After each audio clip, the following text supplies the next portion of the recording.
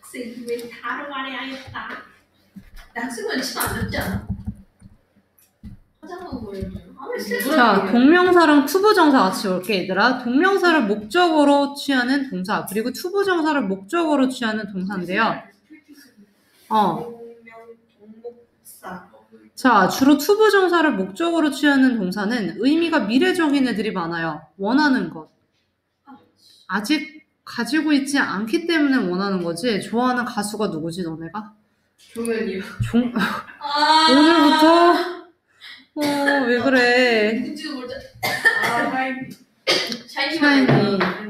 샤이니. 누구? 네, 태민도 있고 키도 있고. 네. 그거밖에 몰라. 그거밖에 안 사람. 어, 왜 멈추지? 오늘따라 이상하네. 어, 하지 말라는 잠깐만. 자꾸 버퍼링 걸리니? 하지 마. 아이돌 이름은 줄줄 다 꿰고 있는 거야? 샤이니 태민? 워너. 워너원.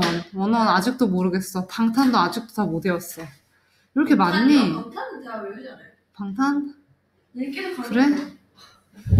맞아요. 제가 원래 방탄이었거든요 처음에. 어. 근데요. 뭐라고 뭐지? 워너로 갈아탔는데요. 음. 차, 에, 세븐틴이 보이는 거예요. 근데요, 지금 엑소도 보여요.